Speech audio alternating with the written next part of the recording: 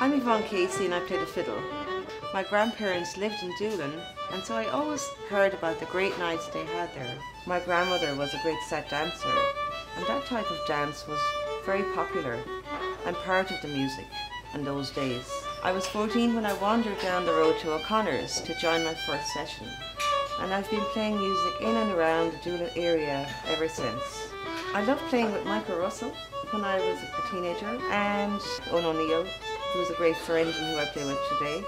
And I've enjoyed learning so many tunes from Kevin Griffin, a great banjo player from Doolin.